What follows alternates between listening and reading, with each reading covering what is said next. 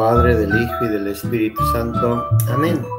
Tomado del Evangelio de San Mateo capítulo 7 versículos del 31 al 37. Salió Jesús de la región de Tiro y vino de nuevo por Sidón al mar de Galilea. Atravesando la región de Decápolis, le llevaron entonces un hombre sordo y tartamudo, y le suplicaban que le impusiera las manos. Él lo apartó a un lado de la gente, le metió los dedos en los oídos y le tocó la lengua con saliva. Después, mirando el cielo, suspiró y dijo, Éfeta, que quiere decir, ábrete.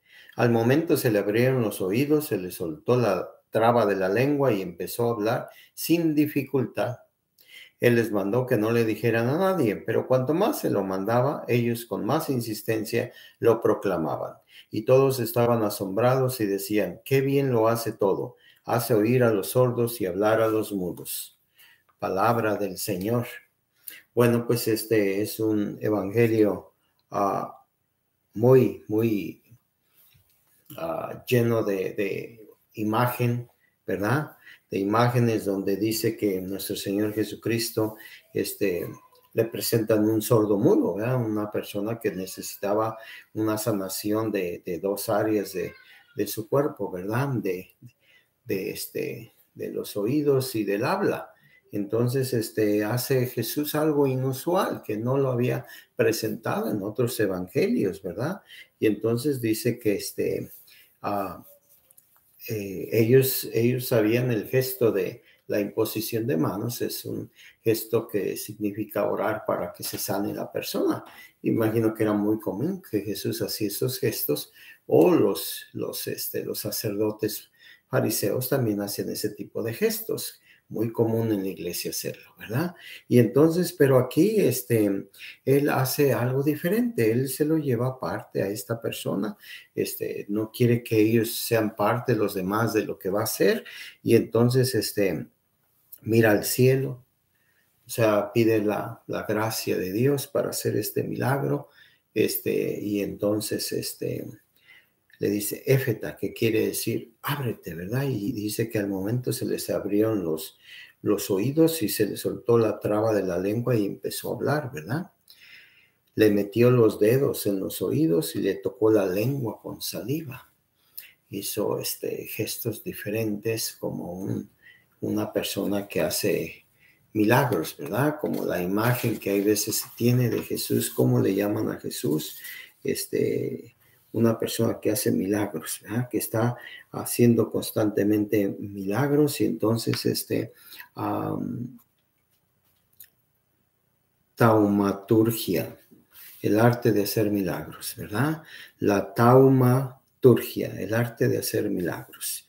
Entonces los, los taumaturgos, este, muy, muy, este, muy reconocidos y este, pero Jesús no había hecho esto. Entonces es un mensaje que, les quiere dar Jesús que, que Él todo lo hace nuevo, que Él todo lo tiene, lo va a hacer diferente porque Él es el Hijo de Dios, Él es el Mesías, Él es el Dios mismo, ¿verdad?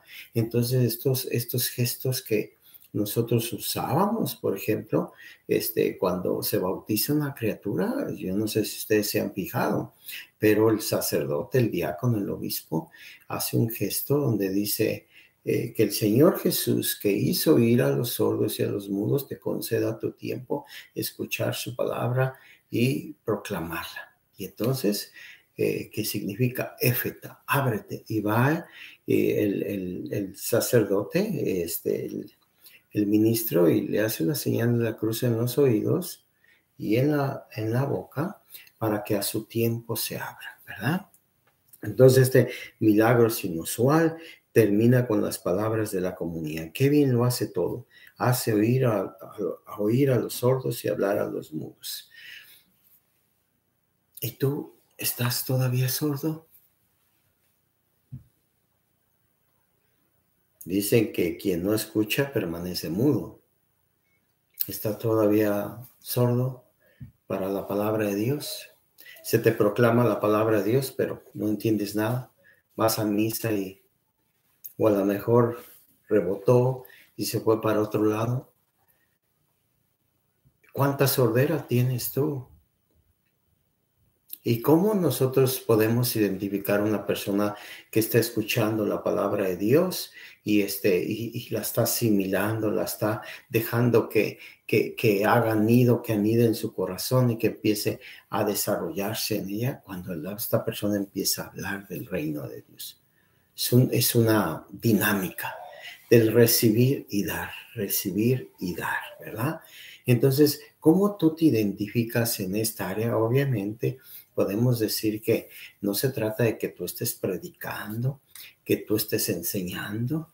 Este es una vocación, es una misión, pero hay áreas en tu vida en las que sí tienes que decirlo en tu, en tu, a tus hijos, a tu esposa, a tu esposo, compañeros de trabajo, en tu propia familia, sin que tú te pares en medio de todos y empieces a hablar, ¿verdad? Si tú, si la palabra de Dios es este, es acogido, o sea, ya no estás tú ya no estás sordo. Entonces, este, quiere decir que tú tampoco estás mudo. Entonces, ¿quién es Dios para ti? ¿Qué ha hecho Dios?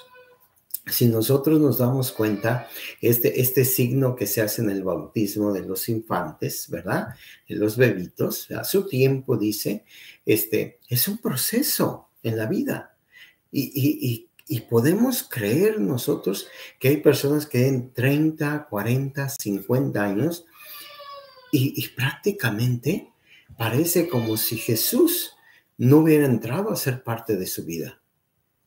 Están sordos, incluso siendo bautizados en Cristo, les molesta la palabra de Dios la ignoran la palabra de Dios, la rechazan la palabra de Dios, la tasgiversan la palabra de Dios y, entienden una cosa y hacen que las personas deban de entender lo que ellos entienden de esto.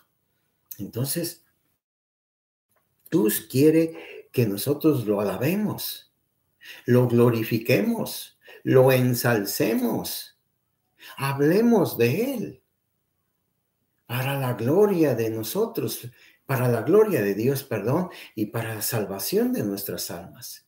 Pero si yo no escucho, si yo no lo conozco, ¿cómo voy a hablar bien de Él si no lo conozco? Por eso es que vivo tan frustrado en ser discípulo del Señor, tener una misión que cumplir en la vida y ni siquiera me he dado cuenta yo de eso. Entonces, esta es una invitación a pedirle al Señor, Señor, Señor, por favor, destapa mis oídos. Habla, eh, que, llegue un momento, como dice este Samuel, ¿verdad? En, en el libro de Samuel, ¿verdad? Habla, Señor, que tu siervo escucha. Entonces ya, ya estás escuchando, ya escucho la, la, palabra de Dios. La palabra de Dios es, es conocer a Dios. Si no, si no se conoce a Dios, no se puede hablar de Él. Y, muchas veces vamos a hablar, no oyen ustedes tanto católico, hablando mal de, de, la propia fe católica, hablando mal de valores o comportándose de una forma inapropiada. ¿Qué es lo único que podemos entender nosotros? Lo único que podemos deducir es que necesita que se los llevemos a Jesús para que Jesús diga, ábrete, efeta en griego, para que esta persona sea liberada, ¿verdad? Liberada esta persona de este, de este sufrimiento que, que hace tanto, tanto angustia y tanto daño a, a, todas las personas porque nosotros hemos dejado, hemos dejado, este, ¿de qué? Hemos dejado de hablar a los demás acerca del reino de Dios. Hemos, eh, hemos dejado de, este, de proclamar el reino de Dios en nuestra vida. Una, porque nunca lo hemos escuchado. Otra, porque lo hemos distorsionado. Otra, porque nos ha retado mucho cambiar y nosotros no hemos querido cambiar. Señor, haznos el milagro de abrir nuestros oídos para que se destrabe nuestra lengua y te proclamemos como Rey y Señor de nuestra vida. Que el Señor les bendiga, el Padre, el Hijo y el Espíritu Santo. Amén.